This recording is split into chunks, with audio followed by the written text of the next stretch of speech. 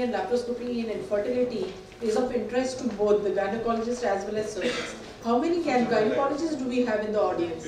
Can I see the hands raised? Oh, a lot many. But still I would say even surgeons are very much interested in this field of infertility.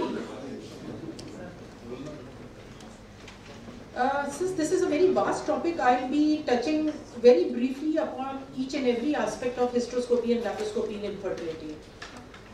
You would all agree with me nowadays with uh, incidence of infertility being on rise, we see a lot of cases in our day-to-day -day practice who require hysteroscopy and laparoscopy. This has become in fact a mainstay in infertility management. Hysteroscopy and laparoscopy gives us a complete insight of the problem and it has the advantage that it is one-step diagnostic as well as an operative procedure. When to advise the patient for hysterolaparoscopy is when we on ultrasound or HSG see a pelvic pathology which needs to be taken care of, be it a cyst or a polyp or a fibroid, or if there is a prolonged unexplained infertility, or if it is a patient who has failed adequate trial of medical management. Coming first to hysteroscopy, hysteroscopy has now become a gold standard in fertility evaluation. It gives us the complete visualization of the uterine cavity.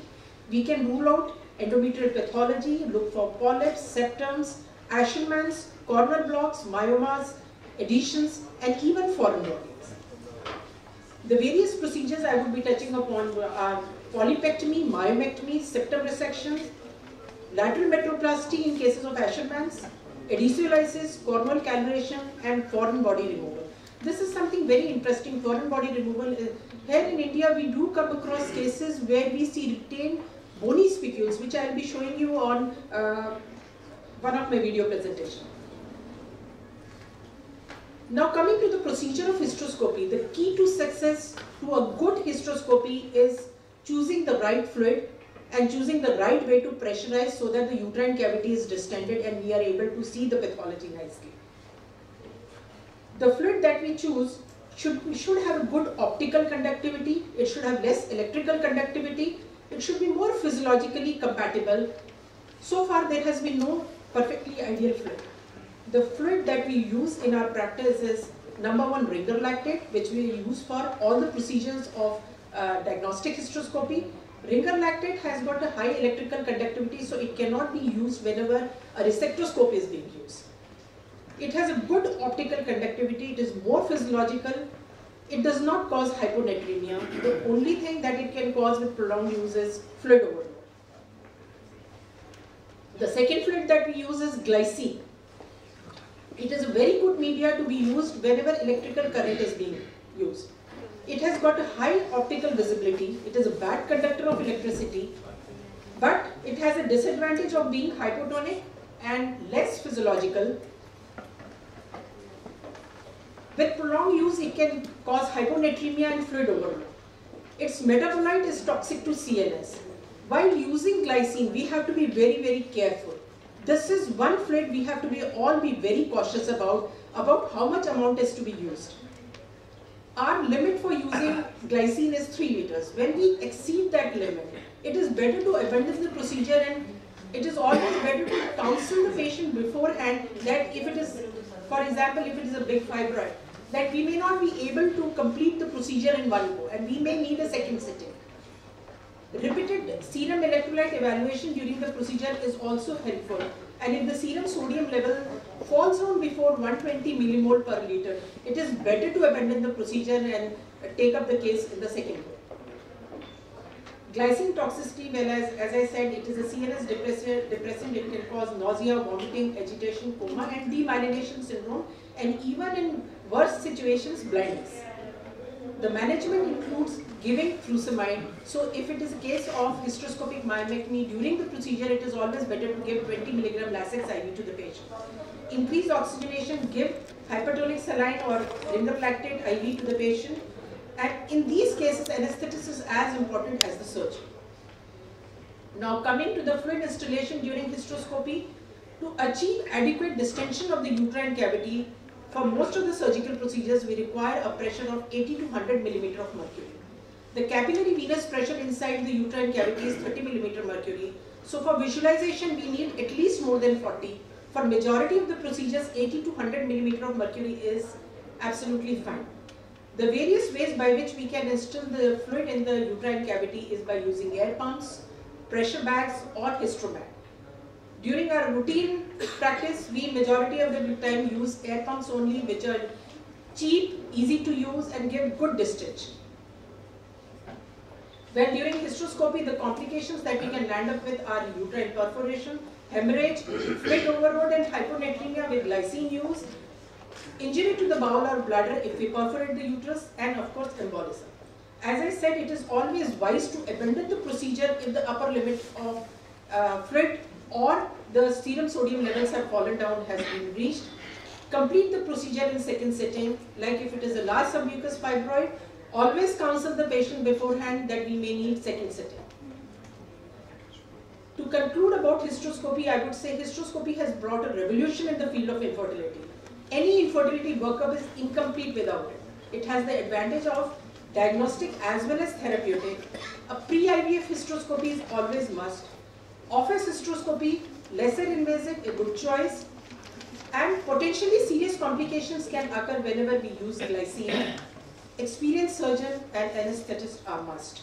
Now I'll just show you uh, my video presentation on hysteroscopy. Some of the procedures that I have briefly touched upon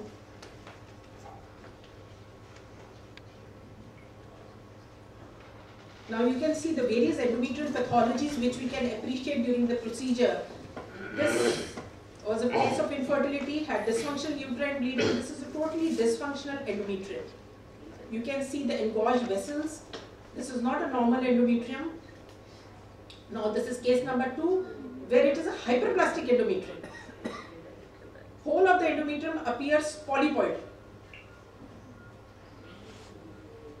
Now this is three where uh, there are intrauterine adhesions. You can appreciate the adhesions inside the uterine cavity. In these cases, we do lateral metroplasty and create space inside the uterus. Now this is a case of submucous fibroid. You can see a beautiful fibroid jetting inside. Now these are two twin intrauterine polyps inside the uterine cavity. Another endometrial polyp you can see these are the pathologies which now this is a case of intrauterine adhesion. This was a patient who had undergone second trimester MTP in the past. Now coming to the foreign body inside the uterine cavity, this is a case where you can appreciate the bony spicules. These are all the patients who had undergone uh, mid-trimester MTP after sex determination and this is something which is very common in India. These are the bony spicules being taken out and how much damage it causes inside the uterine cavity. If, I, if you look at the endometrium post procedure, it is all scarred.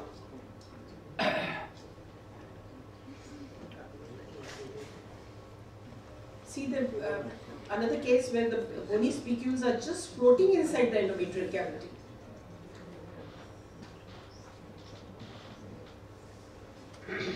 This is the damage to the endometrium that you can appreciate at the fundus.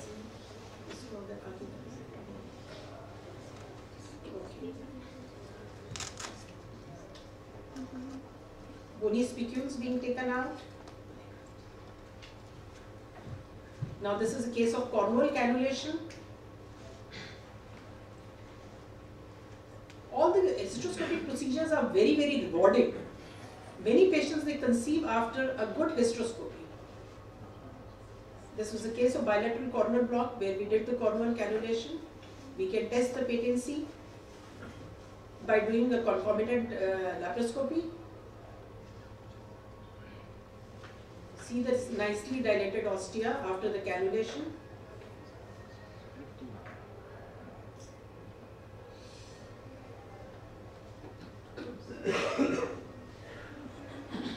now this was this is the hysteroscopic myomectomy.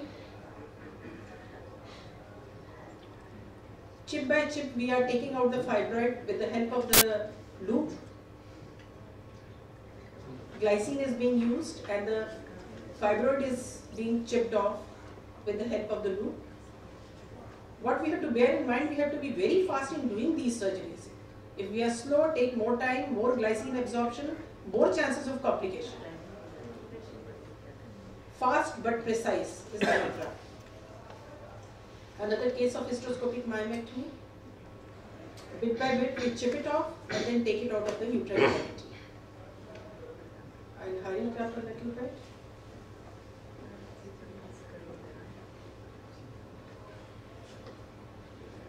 See the uterine cavity um, after the whole myoma is taken off.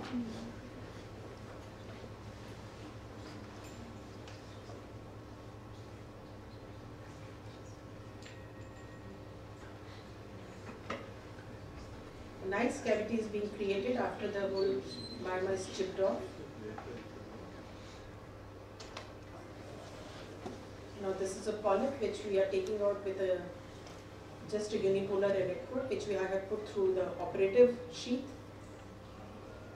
Since in this patient we could not adequately dilate the cervix for the resectoscope to be put in. Now the same adhesion which you had seen earlier, adhesiolysis with the scissors, the hysteroscopic scissors. And again you can see the nice cavity being created. Always we send the biopsy from the area for tuberculosis testing. Now this is a case of septum resection. Small septum you can see.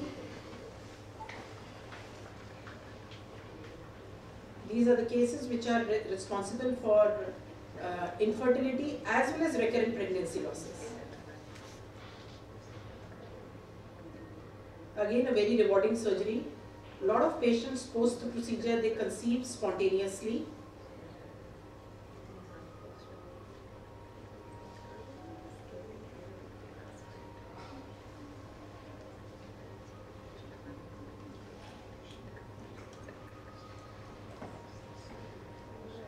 See the panoramic view of the cavity.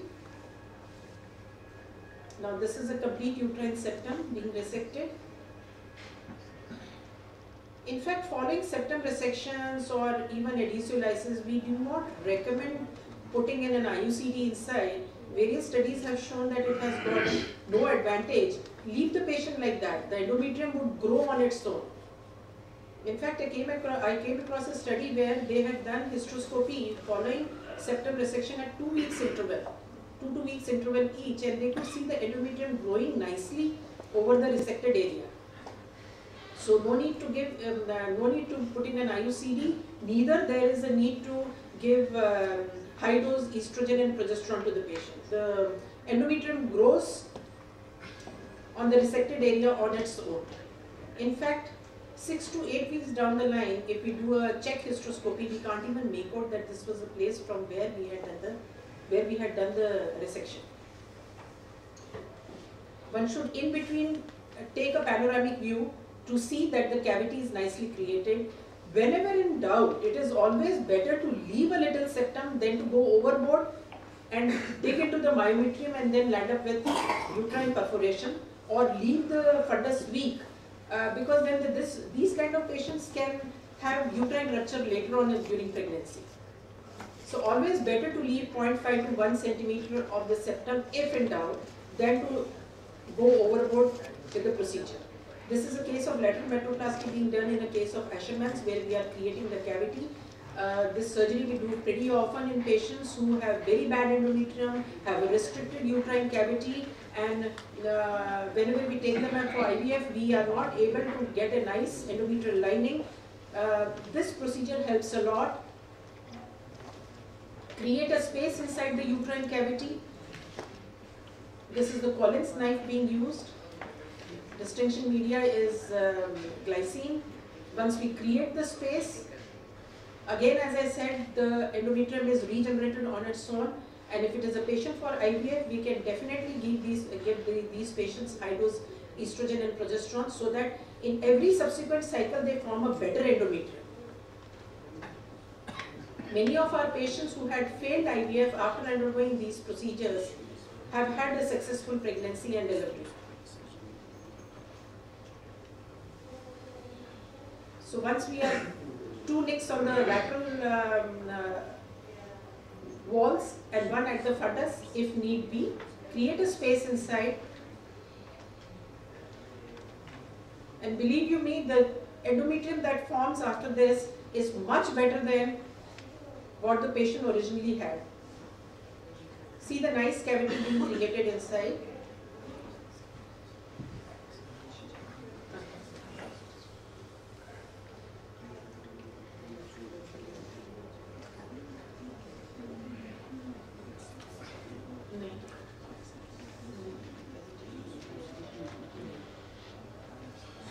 Sorry, I'm facing a little problem here. It has got stuck. Uh, Dr. Vishakha, Yeah. uh, will you mind concluding? Sorry? Will you mind concluding the session? Uh, will you mind concluding the session, ma'am? Uh, we Yeah, are yeah, uh, sure, definitely running too much behind the schedule. Okay, okay, okay. You know, I'm keeping to my Another word that I'm not ringing the bell. But my talk is not complete. Should I stop it here itself? Uh, yes, ma'am. Uh, probably because you know we have uh, lot many uh, presentations waiting. So I think, uh, and quickly Okay. we can go over the question answer sessions. Okay. So, uh, A brief on laparoscopy, just five minutes. Uh, Madam, uh, Dr. Uh, Dinesh Kansal will be sp- uh, speaking on laparoscopic and hysteroscopic myomectomy. No, no, I'm not talking on uh, myomectomy. It is just the addition that I'm talking. Okay, madam. So please go ahead for five minutes.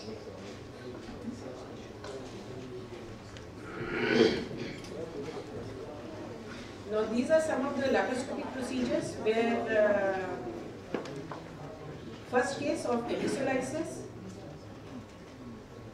We do come across such cases pretty often in our day-to-day practice. Sharp dissection is the with the scissors is the preferred one. Always keep the area that is to be resected on traction and then go in the right plane. Majority of the time, the tissues they give up in the right plane itself.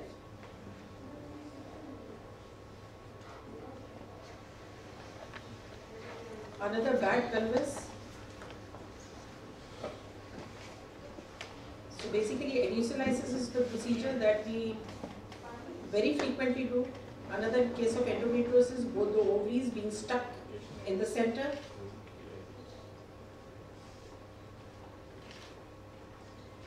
after doing the adhesiolysis, we normally put Interceed, which is an adhesion prevention barrier.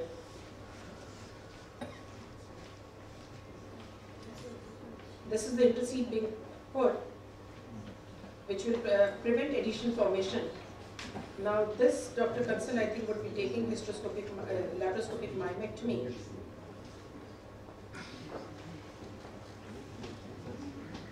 This is a case of ovarian cystectomy incision, enucleation, hemostasis, three steps. This is the stripping of the cyst wall being done. Now this is a big ovarian cyst where you do the direct ovarian puncture, aspirate the contents. Now case of endometriosis, which is now the gold standard for uh, laparoscopy has become the gold standard for endometriosis treatment. Once we clear up the pelvis, we normally prefer telling the patient to try for conception as soon as possible. Again, addition, adhesiolysis, cystectomy, and application of Interceed.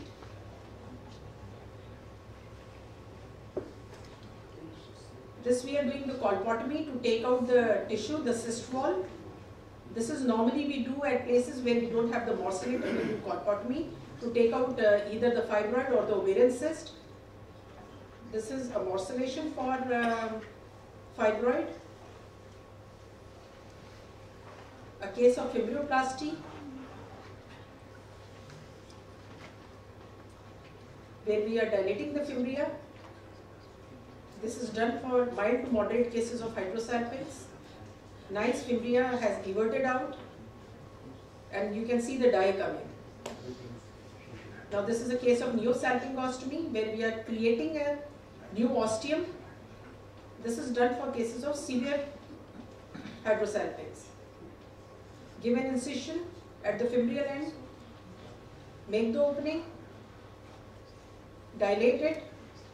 It has to be a cruciate shaped incision. Dilate the newly created opening, evert the fimbria out, and a little coagulation to keep it everted. See the fimbria has come out.